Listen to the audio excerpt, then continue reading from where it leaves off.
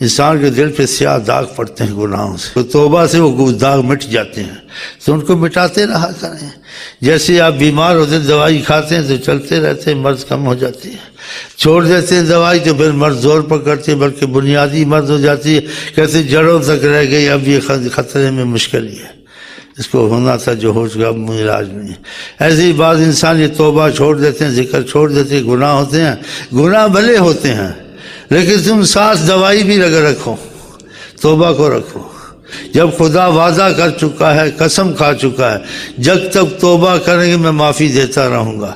शैतान ने कहा, बनी आदम को मैंने हिला किया, गुनाह करा करा के, लेकिन इसने तोबा कर कर के मुझको हिला कर दिया, मेरी सारी मेहनत चली जाती है। जब ये कहता है सखरुल्ला खुदा की रहमत आ जाती माफ़ी जाओ। ये हदीस शरीफ है, सही है? उसी का कसम है, तेरी इज़्ज़त की मैं इनको इनको नहीं छोड़ूँगा। जब तक ये ज़िंदा इनकी सांस चलती, गुनाह कराऊँगा। खुदा का कसम है अपनी बुजुर्गी की जब तक माफिया मांगे, मैं भी देता रहूँगा माफिया।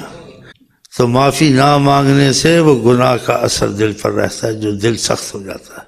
फिर इंसान के अंदर अजमत, खुदा अजमत रसूल रहती। ये तोबा भी साथ रखें, और शैतान हावी ना हो आप पर हर वक्त। वक्ती तौर से हावी होगा, फिर हट जाएगा। जो ज़िक्र अजकार नहीं छोड़ते, उनसे अच्छे काम बहुत ज़्यादा हो जाते हैं। जो ज़िक्र अजकार छोड़ देते हैं, उनसे अच्छे काम नहीं होते, बुरे ही काम होते हैं, और तोबा भी नसीब नहीं होती है। फिर वो बच, वो बचेगा ज़्यादा, हिलाकत में ज़्यादा ही जाएगा ना। ज़्यादा हिलाक होगा।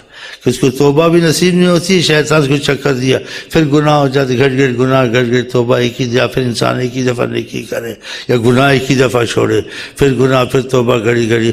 तो ये तो फिर, क्या करें, वो छोड़ ही देता है। ये बहुत बड़ा धोखा उसने दिया। और ये अल्लाह कहते, महमा असैत अल्लाह जितने भी तू गुनाह तेरे से होते हैं, वो छोड़, उसको ना देख। फला तनसा ज़िक्र हो तू खुदा का ज़िक्र और खुदा की मोहब्बत का नाम मत छोड़। तुझे लाजिम एक दिन बख्शेगा वो। कहीं नाम तो लेता है मेरा। अस्तफरल्ला तो पढ़ता है, माफ़ी तो करता है। तो वो दिल से इंसान का बोझ हट जाता है, काले दाग हट जाता है। एक तो तोबा करो छेड़े अगर गुनाह होते हैं।